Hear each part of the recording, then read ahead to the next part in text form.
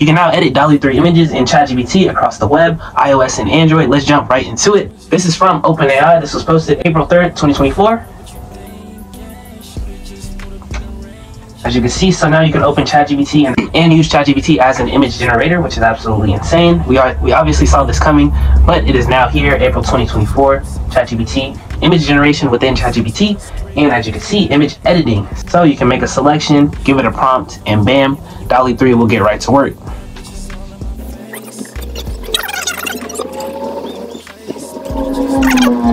I, did speed it up a little bit, but that was about 20 seconds it took to generate this image and the image does not look perfect. It, does look like it was altered with artificial intelligence, let's be honest. Image generation and inpainting is now here in DALL-E 3.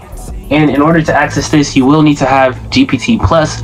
So before you do pay the $20 to get access to both GPT-4 and DALL-E 3, which I think is honestly worth it, man. 20 bucks. If you're a digital artist, business professional, I think it is worth it to have GPT-4. There are other free tools that you can use, such as Claude from Anthropic, which is my main large language model. I do use that because it is free and it is just as powerful as GPT-4. So that's something to know. And then as far as in painting and image editing, you can use Midjourney. Ideogram AI is a lot better for image generation. For image editing, you can use Adobe Photoshop, Firefly, and then you can also use Leonardo AI and Chrome AI for in painting and image editing.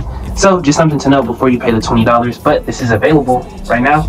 Looking over at Adobe, Generator fill, you can easily do the same thing. Right here we have a house, a beautiful house in the mountains.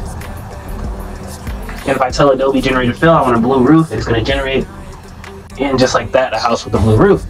You can also just generate random objects, large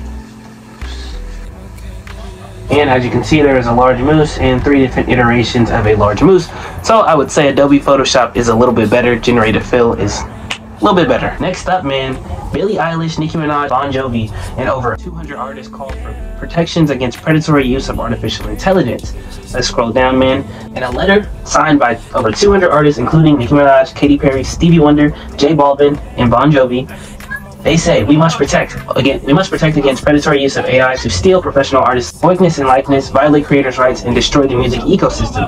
It also calls for companies, AI developers, and digital music services to pledge that they won't develop or use AI-powered technology that undermines songwriters and artists or prevents them from earning fair compensation for their art. If you've been on YouTube at all, you can obviously see this coming. The amount of AI generated songs from artists who are passed away and alive we can obviously see this coming, man. We have songs from Tupac. We have mashups of Tupac and Juice WRLD AI generated songs. I mean, obviously, people were going insane, so the artists had to do something. Michael Cube, who is the president and CEO of Sound Exchange, which is a music tech organization, he basically says as long as you have consent, credit, and compensation, many artists and creators will likely happily collaborate with AI.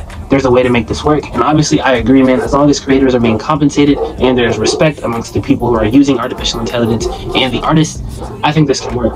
Last but not least, man, this is an unfortunate story, but, but we do have to cover it, man. I will try my best to bring you guys the raw, real news.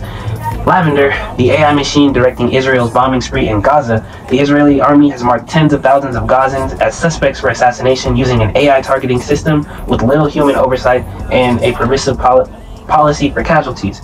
Essentially, they're basically using this AI machine called Lavender to monitor social media activity, and then based on the user's social media activity, they are targeting them, and then as you can see, they are killing them, which is absolutely insane.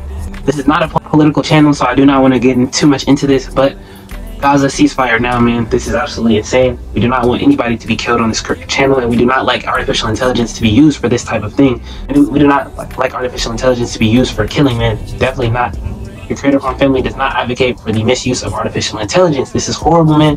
And I do want to bring this news to you guys, regardless of it being controversial or not. You guys do need to know about this. This news needs to be out there. Without further ado, man, Gaza ceasefire now. If you have made it this far, man, thank you. I appreciate everyone for supporting this channel. Please be tuned, man. We will be active in the use of artificial intelligence. We will make sure to use AI and not let it take over. We will use it to better ourselves and to simply progress. Without further ado, man, this is the Creator Kwam family. Please make sure you like, comment, and subscribe. I'm out of here. Now I hit the booth and I tweak, yeah. Used to CEO of ChatGPT OpenAI. Okay, yeah, young nigga used to have a dream. Front end, back end, and full stack. Nigga, yeah, used to have a dream. Would it be seven million one hundred and thirty-six thousand dollars? just put up in a. And I'm off the drink, yeah. Shorty just put up with the beam, yeah. And I'm off a beam, yeah. Shorty just put up in the range, yeah. And I'm off the drink, yeah. Shorty just put up with the